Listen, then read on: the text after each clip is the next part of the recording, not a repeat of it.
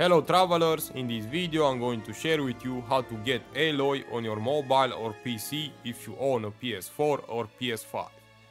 The first thing you need to do is to download the game on your console. If you already have the game installed, you need to update it to the latest game version which is patch 2.1. All you need to do in order to link your account to the PS4 or PS5, you just have to log in into the game on a console device. That's all. After you log in in the game, you will receive an in-game mail that will contain Aloy and the Predator bow.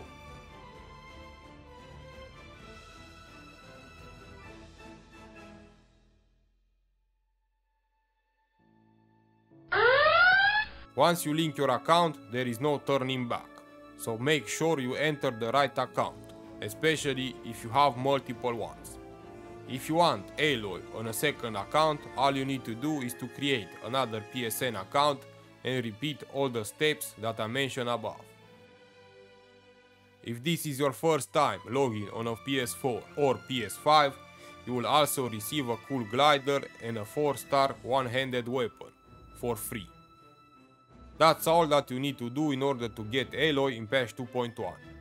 Without the PSN account linking, the PC users will get her in version 2.3. But if you do the account linking, you will be able to get her in version 2.1.